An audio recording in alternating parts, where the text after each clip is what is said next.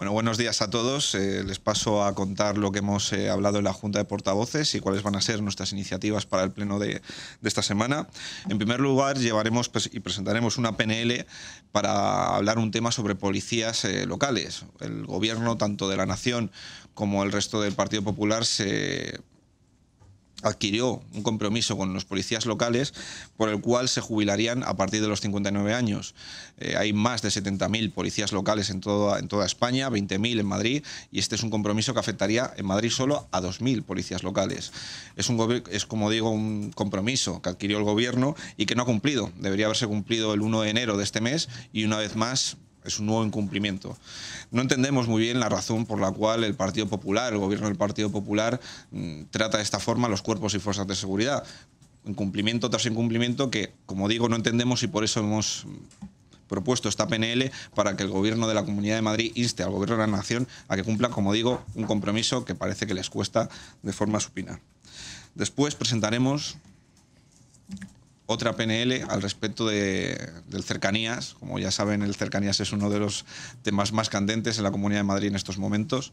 Queremos presentar esta PNL y en ella lo que hablamos es del compromiso en puntualidad, que ya anunciamos hace, hace varias semanas, un compromiso que se basaría en que si el cercanías llega más tarde de los 15, de 15 minutos, se tendría que devolver el dinero o reembolsar en el siguiente abono.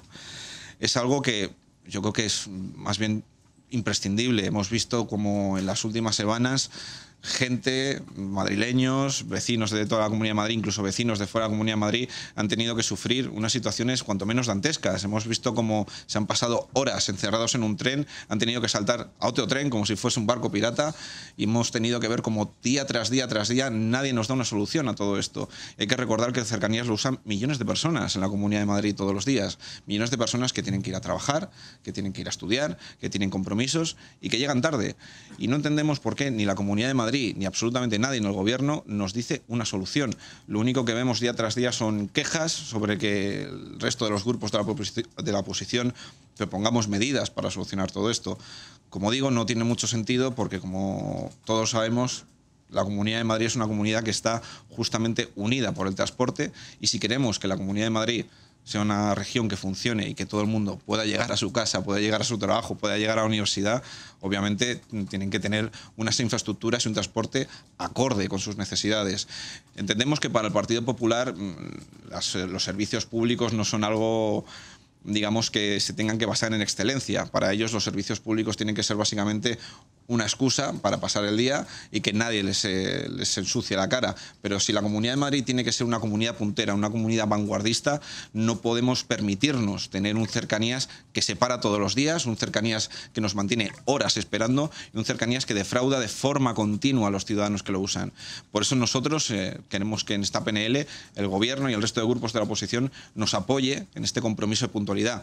Es un primer paso, no, me cabe la menor duda que tendremos que hacer más iniciativas para mejorar el cercanías de la Comunidad de Madrid, pero al menos mm, dejémosle claro a los madrileños que si un servicio no da la talla, se le tiene que devolver el dinero, porque los servicios públicos tienen que dar la talla de forma excelente, en todos los sentidos, y el cercanías yo creo que mucho más. Después les relato las preguntas que haremos en el pleno de este jueves. A la presidenta le preguntaremos si transcurridos más de dos años desde la aprobación de la ley de Radio Televisión Madrid, cómo si valora satisfactoriamente la aplicación de la misma. Es una pregunta que haré yo. Y después preguntaremos al Gobierno cómo valora las condiciones de seguridad e higiene en las instalaciones del Metro de Madrid y en qué consiste el procedimiento extraordinario de concesión directa de subvenciones destinadas a la realización de programas de interés general para atender a fines de interés social en el ámbito de la Comunidad de Madrid.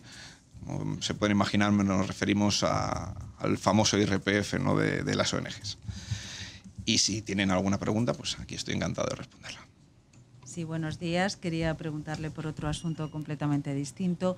El próximo día 8 está convocada una huelga de mujeres, una huelga contra la desigualdad. De mujeres y hombres, pues, según otros.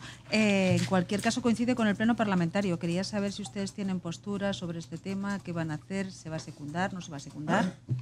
Nosotros ya lo hemos dicho tanto a nivel regional como a nivel nacional, estamos a favor de luchar contra la brecha salarial, estamos a favor de apoyar la igualdad, la conciliación y todas las medidas que permitan que tengamos una sociedad común entre todos, una sociedad mucho mejor y obviamente ahí siempre estaremos presentes. Lo que no vamos a apoyar son manifiestos comunistas, anticapitalistas y demás, que yo creo que poco ayudan a la situación que, se vive en España sobre esa brecha salarial.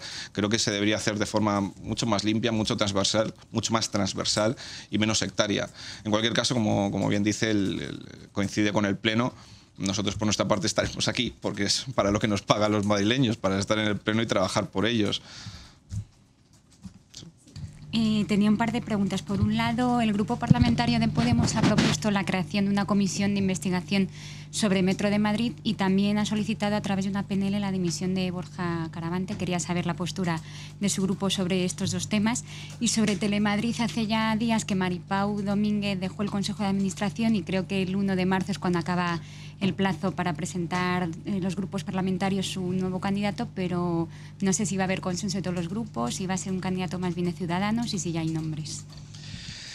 Primer tema, el tema de la comisión de investigación que propone Podemos. Eh, nosotros obviamente no nos vamos a oponer. Creemos que lo que está ocurriendo en el metro de Madrid, al igual que en el cercanías, que parece que el tema del transporte en Madrid está tremendamente revuelto, es algo que se debe investigar y es algo que se debe saber. Es bastante grave, por no decir muy grave, que de repente nos encontremos con trenes eh, que tienen amianto, trenes que incluso hemos vendido a otros países como, es Argentina y han tenido que, devolver. Bueno, yo creo que es una situación cuanto menos, como, digo, como he dicho antes, dantesca, porque yo creo que nadie se esperaba que tuviésemos trenes tóxicos en la Comunidad de Madrid y nadie supiese nada.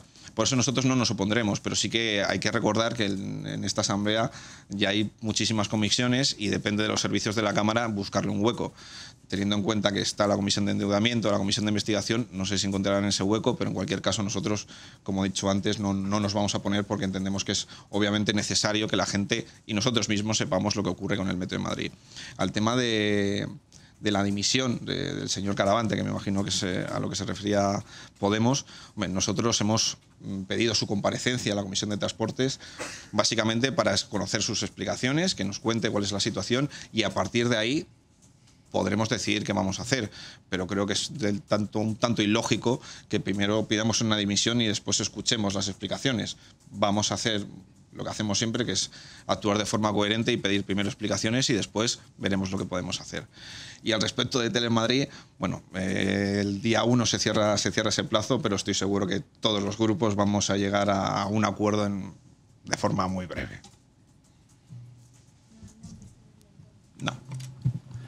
Buenos días, Jaime Ruiz de las Sexta Noticias. Eh, quería preguntarle, dado que hoy es un día un poco complejo para el Partido Popular, dado que está declarando ahora mismo la Audiencia Nacional Francisco Granados, aún no, se ha, no ha trascendido nada de lo que está de lo que se está comentando allí, aunque sí es cierto que Granados ha dicho que quería responder a todas y cada una de las preguntas que le hicieran tanto las partes, la Fiscalía y corroborar todo lo que dijo en su anterior declaración.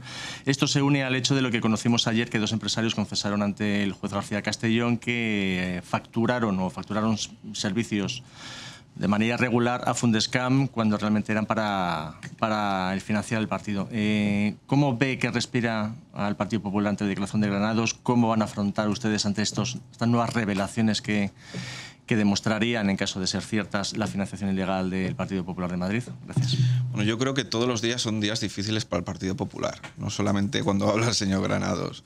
El señor Granados, pues bueno, esperaremos a ver qué, cuál es este, este nuevo capítulo que va a contar, pero sí que es cierto que todos los días vemos una pequeña pieza de lo que ha ocurrido en la Comunidad de Madrid, ¿no? Se va terminando ese, ese pequeño puzzle que, que sabíamos que estaba ahí, que era la financiación irregular del Partido Popular, tanto en la Comunidad de Madrid como en otros sitios. Y bueno, gracias a gente como el señor Granados, el señor Costa, pues vamos sabiendo un poco lo que ha ocurrido de verdad. Yo creo que el Partido Popular, pues una vez más, se volverá a poner nervioso y pues hará lo que, lo que hace siempre, atacar al resto y decir que, que ellos no son tan malos y que los demás son, son el demonio encarnado pero la realidad es la que es, que es el señor Granados el que tiene que acudir eh, a los juzgados, que es el señor Costa el que tiene que acudir a los juzgados, el señor Camps, o sea, son ellos los que están allí. No es ni el Partido Popular, o sea, no es ni el Partido Socialista, ni Podemos, ni nosotros, ni, ni el PACMA, son ellos. Y entiendo que es una situación que hace que sea tremendamente complicado, sobre todo en la Comunidad de Madrid, porque ellos obviamente se han basado durante años en decir que la gestión que han hecho en la Comunidad de Madrid es maravillosa, cuando la realidad es que en el momento que empezamos a rascar nos vemos que lo que han hecho en la Comunidad de Madrid dista mucho de gestionar para, para los madrileños. Lo que han hecho en la Comunidad de Madrid es otra cosa totalmente distinta y no le voy a poner calificativo porque, bueno, a lo mejor, a lo mejor acabo yo en la cárcel si le pongo el calificativo, pero la realidad es la que es. Por eso yo lo, lo, que le pediría al Partido Popular es que aceptase la situación, se diese cuenta de lo que han hecho sus compañeros pidiese perdón, que es algo que no todavía yo no he escuchado al Partido Popular ni a ningún miembro de esta Cámara del Partido Popular que llevan aquí mm, más de 20 años y que han aplaudido al señor Aguirre, a la señora Aguirre, al señor González, al señor Granados, al señor Salvador Victoria, a todos, a todos los que al final han acabado en un juzgado, que pidan perdón y que den explicaciones. Porque al final, si ellos quieren regenerarse o quieren seguir siendo útiles, ya no para los madrileños, sino para la política en general, tendrán que cambiar. Y cambiar significa darse cuenta de los errores y mejorar, no atacar al contrario como hacen de forma desproporcionada todos los días, porque al final eso lo único que consigue es, bueno, a mí me, hace gracia, pero lo que consigue es básicamente es que el Partido Popular se vaya a convertir en un partido residual. Sí, em, dos preguntas. Una sobre em, eh, la la renovación del Estatuto de Autonomía. Eh, se presentan en este pleno eh, dos enmiendas a la totalidad, una con texto alternativo del PSOE. Quería saber su postura, si la tienen ya, ya decidida. Y por otra parte, que me aclarara eh, el no votar en contra de la, de la comisión de investigación. ¿Supone abstención? ¿Supone votar que sí? de la Comisión de Investigación del Metro. Sobre, metro. Sobre, sobre, el tema del estatuto, el jueves marcaremos nuestra si votamos a favor o votamos en contra, pero bueno, hasta el jueves prefiero, prefiero guardarme, guardarme la respuesta. Y sobre el tema de la comisión votaremos a favor, pero como digo, no es, un, no es un problema en que nosotros estemos en contra, es un problema de que se encuentre un hueco en, la Cámara. Como bien sabéis, hay comisiones todos los días y no sé si hay suficientes letrados, suficientes taquígrafos y demás, pero bueno, en cualquier caso yo creo que es una comisión que se debe hacer. Eh, relacionado también con la reforma del estatuto. Eh, si, como acaba de decir, eh, Ciudadanos está a favor de acabar con la brecha salarial y de la igualdad, ¿estarían dispuestos a apoyar al Partido Socialista en una reforma concreta, la adelantó ayer José Manuel Franco, en la que quería incluir, mediante una ley orgánica en el estatuto, en esa reforma, digamos, una defensa Em, de la eliminación de la brecha salarial, eh, quería, digamos, ponerlo en el estatuto, y aparte también, digamos, dotar de más recursos, dando entidad jurídica a la lucha, a una lucha mayor o más intensa contra la violencia de género en la Comunidad de Madrid. Eh, lo adelantó ayer, no sé si lo ha leído seguramente. No lo, vi, no lo vi, Vale, pues nada, eh, básicamente es lo que le he dicho. ¿Cuál sería la postura de el tema, el tema es que yo creo que muchas veces confundimos el hecho de poner en un papel derechos con que esos derechos al final se cumplan. Yo creo que para cumplir el tema de la, brecha salarial hay que hacer políticas activas, hay que concienciar a la gente, hay que ayudar y promocionar a aquellos que lo hacen bien y no promocionar y justamente a lo mejor castigar a aquellos que lo hacen mal. por desgracia, el Partido Socialista es muy amigo de poner como hemos visto en la enmienda totalidad del estatuto, muchísimos derechos, pero es que poner muchísimos derechos deberían servir para obligarse a cumplir. Y muchas veces lo que nos encontramos aquí es que se ponen muchos derechos, pero después nadie nos dice cómo lo vamos a cumplir, cuánto van a costar, cómo lo vamos a hacer. En cualquier caso, como digo, nosotros es un, es un tema que estamos a favor, que hay que apoyar, pero creo que simplemente por ponerlo en un estatuto no va a cambiar. No va a cambiar absolutamente nada. Lo que hay que hacer es políticas activas todos los días, en todos los gobiernos, allá donde estemos y donde no estemos, para acabar con ese problema. Nosotros apoyaremos, pues, como he dicho, políticas activas y propuestas concretas. ¿Que ellos quieren poner un estatuto? Pues bueno, me parece bien. Pero si alguien piensa que por poner que se acabe la brecha salarial en un estatuto se va a acabar, yo creo que el PSOE sigue pensando que vive en el siglo XIX. Esto ya no funciona así. Hay que trabajar todos los días para cumplir los derechos que tenemos todos.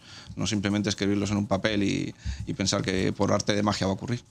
Eh, por, vamos, por preguntar. Eh, sí que es verdad que no especificó José Manuel Franco en ninguna medida concreta en esa reforma. Me imagino. Pero, eh, no sé, por, por, el lugar donde lo dijo y las siguientes declaraciones a las cuales él se sumó, entendimos como que querían poner medidas coercitivas, por ejemplo, a empresas que, que, eso, que discriminaran salarialmente a hombres y mujeres en el mismo puesto de trabajo. En ese caso, no lo, no lo, dijo así, lo, intuimos así porque tanto UGT como Comisiones Obreras, que era el acto donde lo dijo él, eh, planteaban eso. Si fuera así, en ese caso, ¿estarían dispuestos a apoyar esa, esa medida?